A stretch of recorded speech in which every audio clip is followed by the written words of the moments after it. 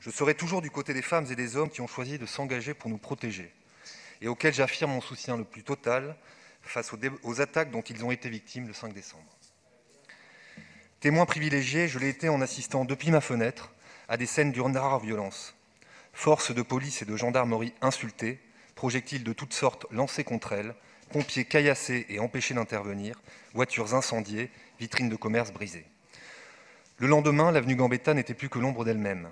Les riverains, les commerçants étaient nombreux, écœurés par le triste spectacle d'une manifestation qui avait une fois encore dégénéré.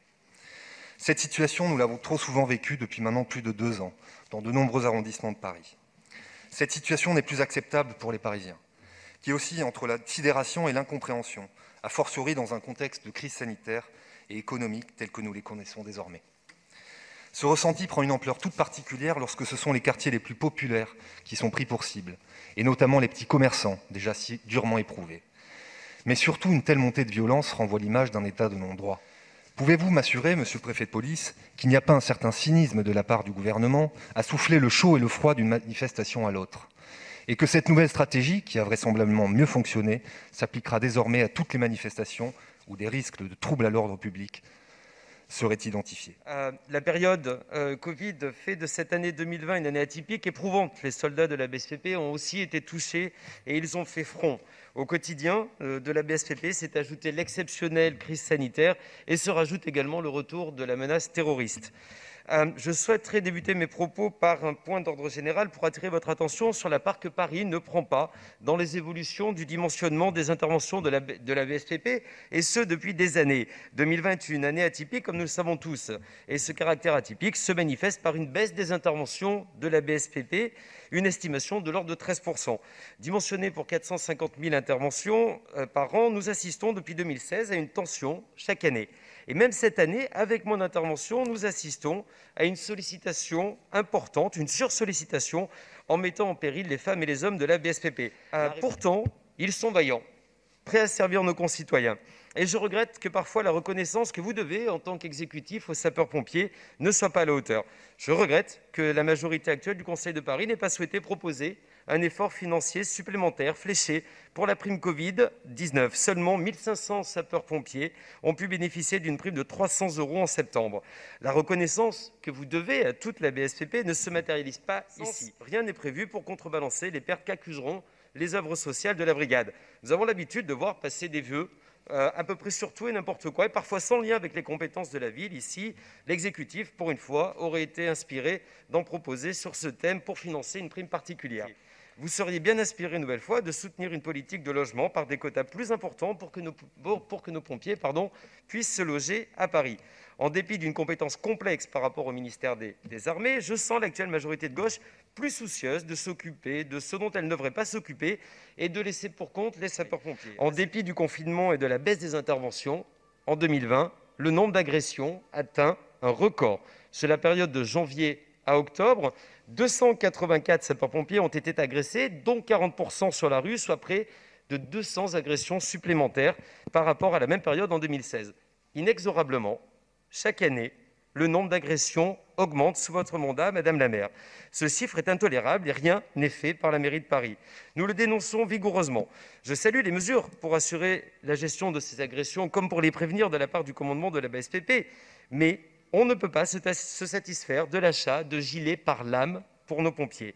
Intolérable que des serviteurs à la personne risquent leur vie en intervention. Vous dénoncez, Madame la conseillère et la rage, vous ne faites rien d'autre que de dénoncer.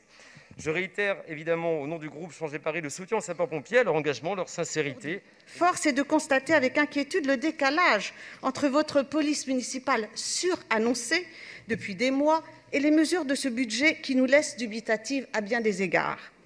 Première interrogation, le personnel. Apparemment, le compte n'y est pas. En effet, trois grandes masses d'agents affectés à la sécurité sont concernées. Les inspecteurs de sécurité chargés de la lutte contre les incivilités, au nombre de 800, les agents de surveillance, les ASP, chargés de verbaliser les infractions de stationnement et de code de la route, au nombre de 2000, et enfin les agents d'accueil et de surveillance, les AAS, des mairies et espaces verts, au nombre de 600.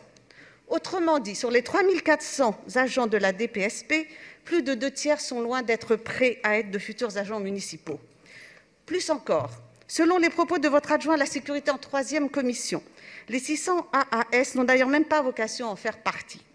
Il reste donc près de 2 000 agents à recruter pour atteindre l'objectif des 5 000 policiers municipaux d'ici 2024. Or, au BP 2021, seulement 129 sont recrutés, dont seulement 100 agents de terrain. Il est donc clair que le recrutement est bien trop faible. Rappelons que la formation initiale en France pour les agents de police municipale est de 120 jours, soit six mois. À ce rythme, lorsque la loi sera votée, nous ne serons même pas en mesure, ne serait-ce que de proposer un embryon de police municipale formée après tant d'annonces. Mais ce qui nous interpelle encore plus, c'est le contenu futur de cette formation, puisque la formation pour devenir adjoint de police judiciaire est seulement de deux semaines, et cela en alternance. C'est trop peu et c'est trop loin d'être l'équivalent de ce que doivent suivre les polices municipaux en France, et ce, comme le prévoit la loi. Au total, que prévoyez-vous donc vraiment pour la durée de formation? Autrement dit, s'agira-t-il vraiment d'une formation à la police municipale ou d'une version édulcorée? Les enjeux cruciaux auxquels feront face ces futurs policiers municipaux parisiens méritent autre chose qu'une formation au rabais. Ne pas le faire, c'est desservir non seulement les Parisiens, mais mettre en danger ces futurs policiers. Nous constatons une nouvelle fois votre refus d'envisager un armement de la police, malgré une actualité récente qui prouve son utilité. Nous aurons l'occasion d'y revenir. Mais ce qui nous inquiète, c'est que ce refus est doublé d'un flou inquiétant quant à l'équipement des futurs agents. En effet, pas un mot dans les documents budgétaires, si ce n'est des équipements de protection, des vêtements, de la mobilité douce, entre guillemets. Concrètement, comment allez-vous équiper vos futurs agents municipaux? Quels seront leurs moyens de défense? Seront-ils équipés de caméras piétons qui semblent indiquer leur efficacité? En fin de compte, seront-ils en mesure d'exercer correctement et de manière sécurisée leur mission? En conclusion de cette intervention, je me permets de m'interroger. Cette police municipale, allez-vous réellement la mettre en place ou s'agit-il juste d'un énième coup de communication? Madame la maire, en matière de sécurité, nous craignons que là comme ailleurs, vous ne soyez pas au rendez-vous de vos promesses et c'est là un euphémisme. Je vous remercie.